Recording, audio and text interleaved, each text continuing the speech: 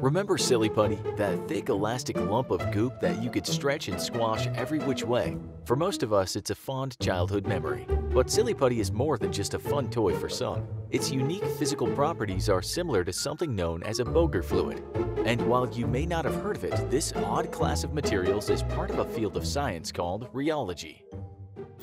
Inside Science. Rheology is the study of the flow and distortion of materials. Professor David Boger came into rheology during a challenging but exciting time in the field. Researchers were trying to measure polymers, which include a wide range of things from DNA to proteins to all kinds of plastics. So we naively believed we could build a fluid that was simple enough that you could use to do experiments, and that turned out to be the Boger fluid, which is a constant viscosity elastic liquid.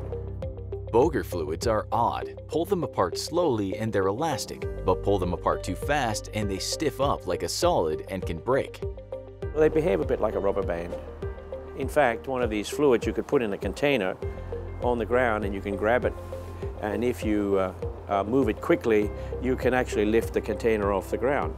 And if you move it slowly, it behaves like a liquid. It's a bit like silly putty.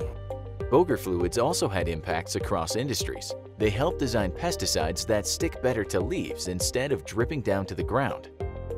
In terms of uh, delivery of an agricultural chemical where the drop hits the leaf, which is hydrophobic, and bounces off, and that's not good if you're delivering a, herbicide, for example.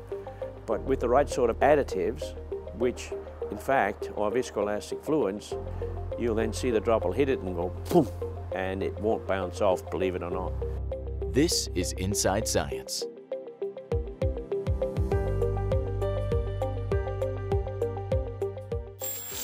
Inside Science. If you enjoyed this edition, follow us on the web and social media. Powered by the American Institute of Physics.